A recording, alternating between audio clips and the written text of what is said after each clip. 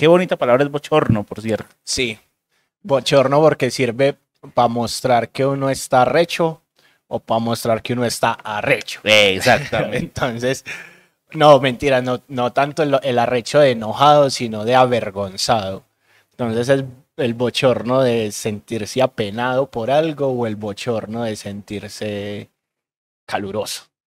Sí, dependiendo pues como de- del contexto circunstancial que pueda tener la palabra. ¿Vos alguna vez te has sentido abochornado?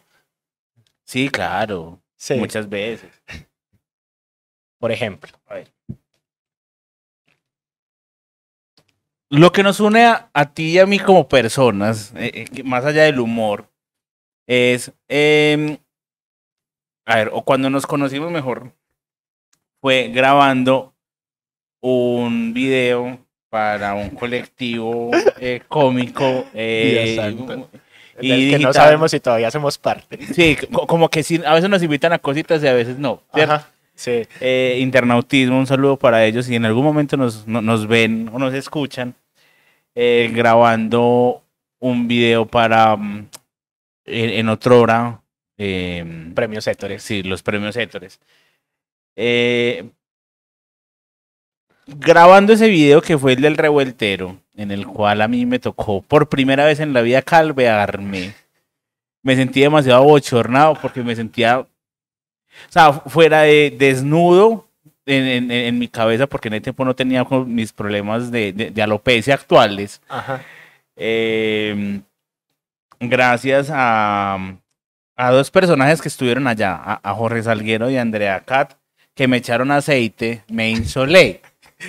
Yo me acuerdo. O sea, más que me insolé, me frité, porque me echaron, o sea, Era- eso fue aceite de cocina, ¿no? sí, sí, fue aceite de cocina, entonces, claro, al otro día me tocaba ir a trabajar con calvo, con bigote, porque obviamente terminamos de grabar muy tarde y no me dio tiempo de organizarme el otro día que tenía que madrugar, y frito.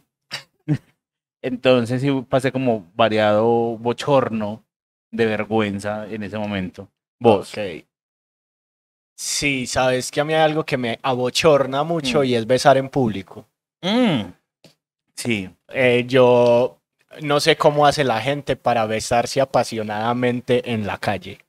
¿Cierto? Ese beso con lengua que va hasta la glotis Sí. en la calle, que uno es como, uy, monstruo, pagale pieza. Así, a mí eso me avergüenza. Entonces, cuando ocurre, es como, qué rico ese beso, qué bueno que pasó, pero por favor no lo volvamos a hacer aquí, porque está reservado para los momentos de oscuridad, intimidad y amor. Entonces a mí eso me abochorna un montón. en algún momento yo también sufrí ese bochorno. Yo siento que es más como en esa primera etapa con, con, con la pareja, pues, ¿cierto?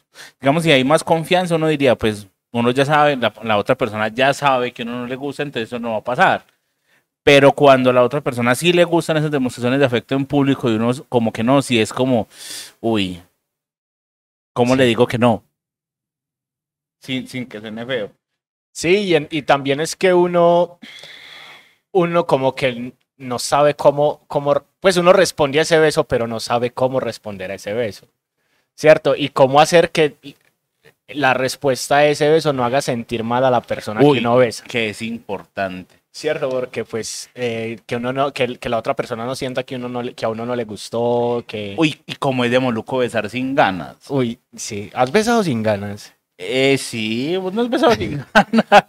Sí, Sí, es como besar como por compromiso. sí. Uy, Sí. sin Por amor. favor, no lo hagan, no lo hagan, no. Sí. No sigan nuestro ejemplo. Sí, por favor, eh, no es bueno. Pero en fin,